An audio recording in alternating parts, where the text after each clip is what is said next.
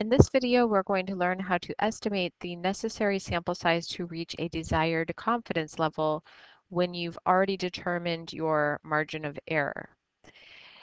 I have the formulas right here that I cut from the larger reference sheet for hypothesis tests and confidence intervals.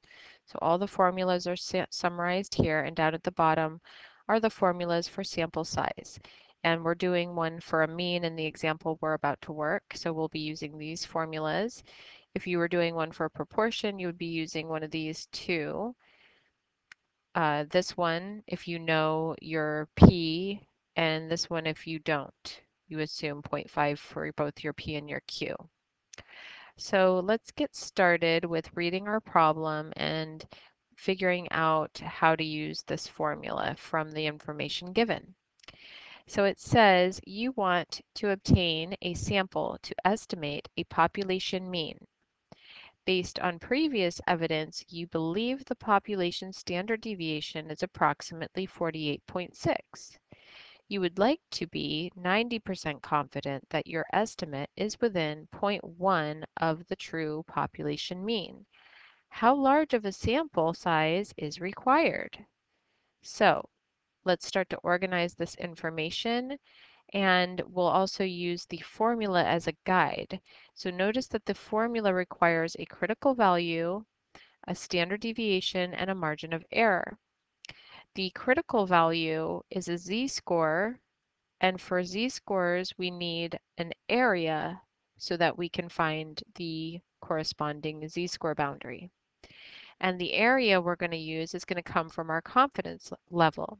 So they said 90% confident. So I'm going to put 0.9, 90% as a decimal. Alpha is your significance level or 1 minus the confidence level. So that would be the area in your two outer tails.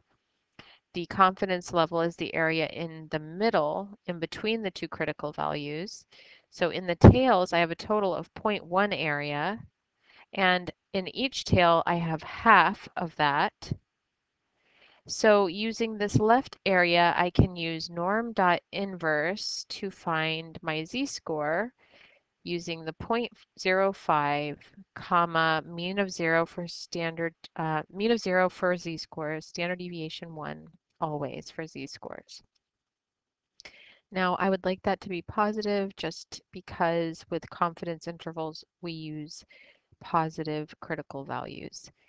Even though in this case it won't matter because I'm going to be squaring everything. If you are doing confidence intervals, like if you're constructing a confidence interval using a calculated margin of error, when you calculate your margin of error, make sure to always use a positive critical value.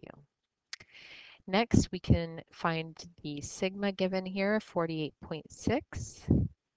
And the margin of error was that we want to be within 0.1 of the true population mean.